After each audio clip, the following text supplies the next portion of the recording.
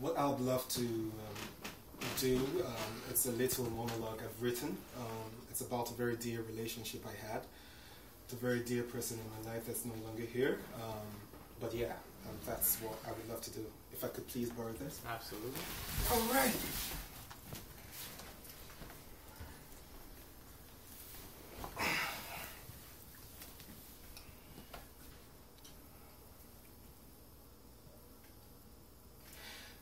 Shrouded in clouds of white coats was a flurry of indiscernible gropes and grunts. Feet shuffled against the faint and intermittent chatter of voices and clinking metal sounds. It had been the fifth hour and Rose grew weary. She grew weary with each tick of the second hand that came from the gigantic white clock that hung magnificently on the right wall of this white room. Form shifted. They shifted from exit to entrance and then back again as the swing underneath the red lights propelled the twin wooden boards. They fluttered, oscillated, and then came to a halt only to be bothered again. Sweat beads had begun to form on her forehead from the last time the lady in white had wiped it. Her breath grew heavier, and her grip grew even tighter on Michael's arms. There was nothing the people in white could do now because Rose had sworn never to allow a blade touch her skin, and she had made Michael swear to do the same just in case she wasn't conscious enough to make the call. And so they waited, and they waited until she dilated.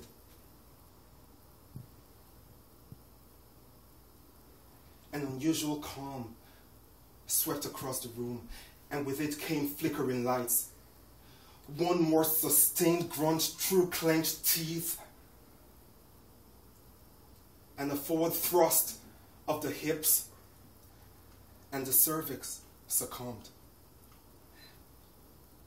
Silence. I teetered between this place and the space I was before, the one from which I had come. And that which was symbolic, the very one that acted as my rite of passage, dangled as I levitated. Fists clenched, pulled close to my chest, ankles feeble and body supple. The silence, the silence lingered still, only to heighten the anxiety in the eyes of the people who looked and were fixed on this red-bodied creature. Rose usually waited. You see, the routine with the first four had been to wait, and the high-pitched sound that usually came with the first spoken words would jerk her right back into life. This process had always been one of give and take. She did the heavy lifting and acted as a conveyor, all the while nurturing with intense affection. And the little one's task at this time of disembarkment was to reach back down into the spiraling vortex and lend a voice, not necessarily vocalized, but of words nonetheless.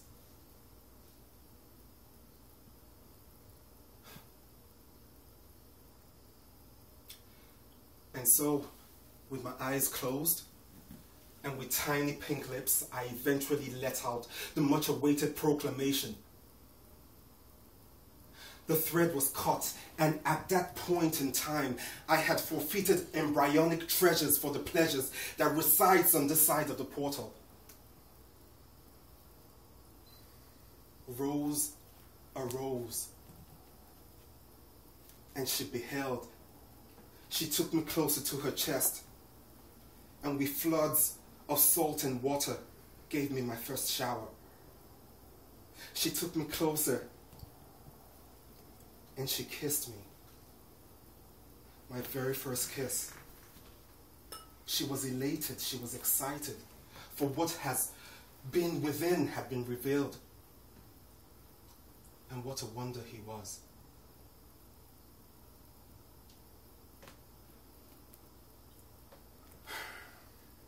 I took off all my clothes and laid in the dark that night.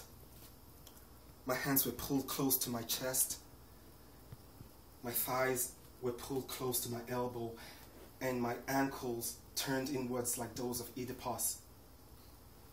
I closed my eyes, and there I was, back in the same white room, only this time there were no indistinct chatters and no metal clinks, and the huge white clock had come to a stop.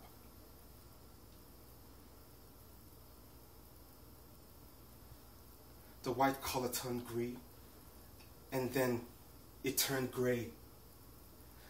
The lights flickered. They flickered for a while and then went out.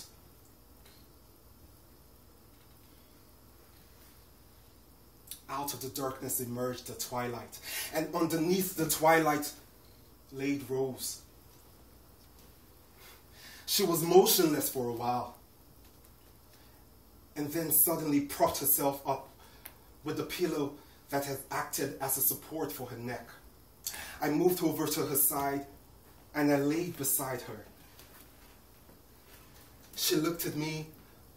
She looked at me with the same intensity she had done the same day so very many years ago. And then she kissed me. It was reminiscent of the very first time that we had met, and our bond was deepened by the love that had grown for the past two decades. I recollected all that we had been through, Rose and I. From exhilarating back rides under scorching sun where I was strapped to her back with a piece of cloth to lullaby musings in rocking cots. I thought about all the time when she had been my first responder, doing better, much, much better than the people in white were ever capable of. I also thought about the time when, in my hormone rage teens, she had been my defense in public and a very stern, no mercy prosecutor in private. As I laid beside her, I spoke no words. For what was there to see? Dialogue at such levels transcended alphabetical entrapments. And so we laid. And all I needed was the touch of her skin to my skin. And just as she had listened to every single word of my high pitched monologue when I first arrived, she could understand me perfectly.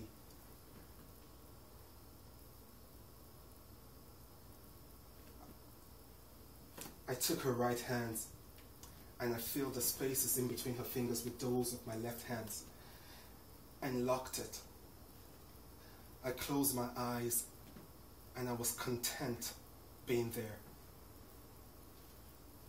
I felt a tug, and when I opened up my eyes, Rose was gravitating towards the twilight. I did all I could to pull her back down, but my efforts were futile. I shouted, but they were muted sounds, and Rose kept on gravitating.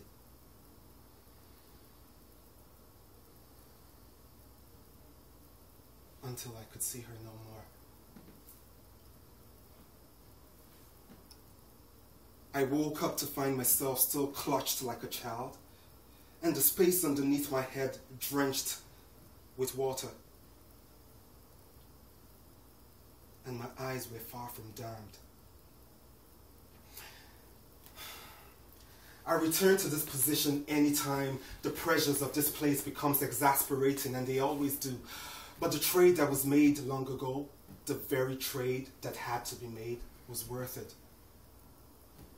I am reborn with each position I take. And I'm able to say to those who have not yet come, those who have not yet embarked on this journey, I am able to say to them that I once met a lady. And she had the power and the affection to transform a little tiny red bodied creature into a grown man. A man filled with hope, and most importantly, a man with a perfect understanding of what love is. Looking back,